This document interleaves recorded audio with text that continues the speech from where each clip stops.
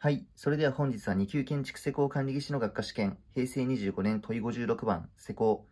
塗装、吹き付け工事について解説をしていきたいと思います。問題は番組タイトル下の説明欄にも記載されておりますので、そちらからもご覧ください。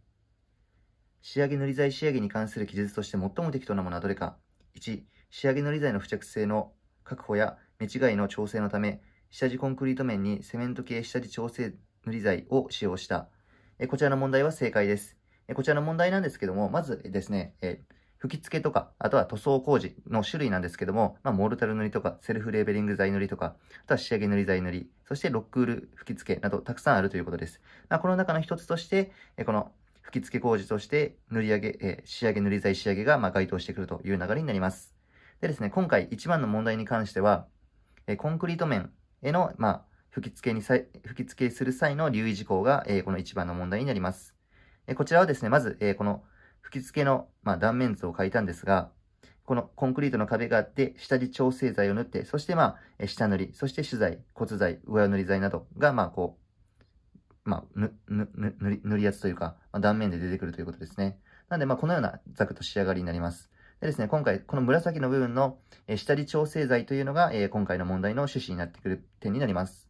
この、えコンクリート面の仕上げ塗り剤仕上げにおいて、仕上げ塗り剤の付着性の確保や、目違いの調整のためにですね、このセメント系の下地調整塗り剤というものを、え使用するというのは、まあ、この、えコンクリート面への、ま付着性を良くするために、まあ、正しい施工方法、え施工材料になるので、まあ、この1番に関しては正解になります。ですので、このセメント系下地調整塗り剤を、ま、このコンクリート下地面に塗るというのを、ま、暗記していただければと思います。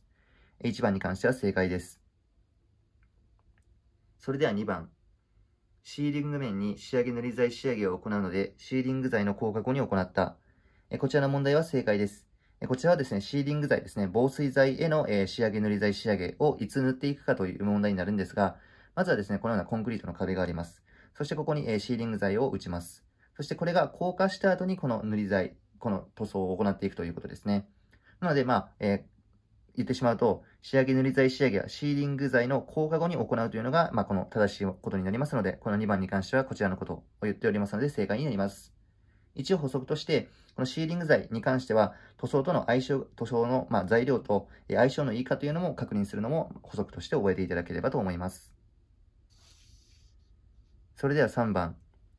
各工程ごとに用いる仕上げ塗り剤は、下塗り剤を除き、同一正常書のものとした。